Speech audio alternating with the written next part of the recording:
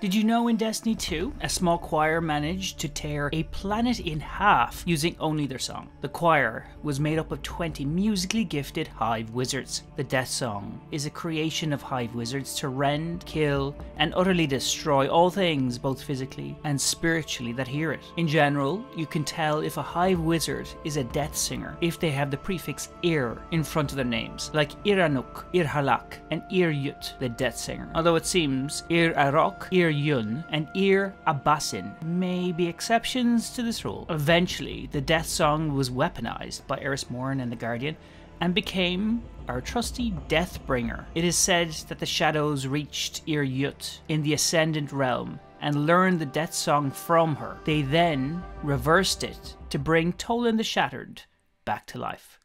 You've heard Savathun's song many times, whether you recognized it or not. From Crow humming it in the helm to the title screen of Shadowkeep. Once you hear it, you can never forget it, and Savathun will hold sway upon you. During the endless night, the people of the tower and of the last city would sing it to deal with the fear that had overcome them. Did you also know Ruinous Effigy, a exotic trace rifle, had the notes from the Beyond Light title music built into the sound of the gun. There's a 1 in 10 chance of hearing this when you fire the trace rifle.